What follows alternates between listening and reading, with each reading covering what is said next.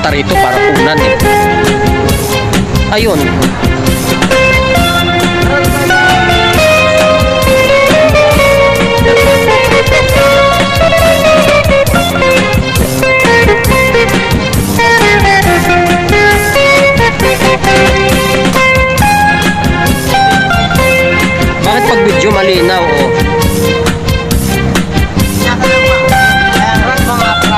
Oh, nak, ikaw, kunan mo nga dyan. Kunan mo ako. Tutungtong ako. Kung paulanan. Nakabayong ka.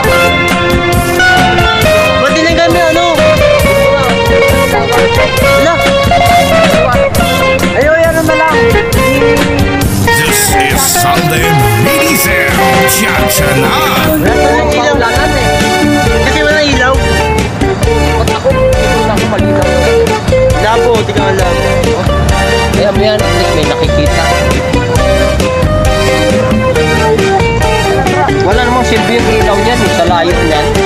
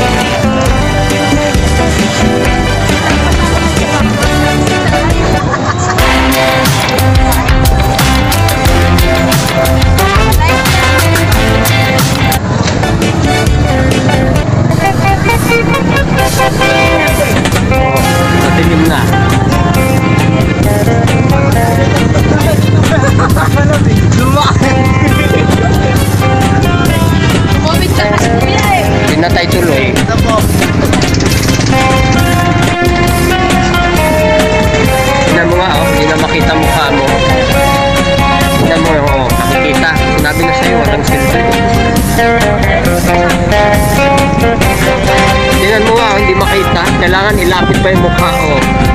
Eh, mas okay na nga kanina dun eh. Pinatay na yung ilaw ng camera eh. Ilaw ng camera?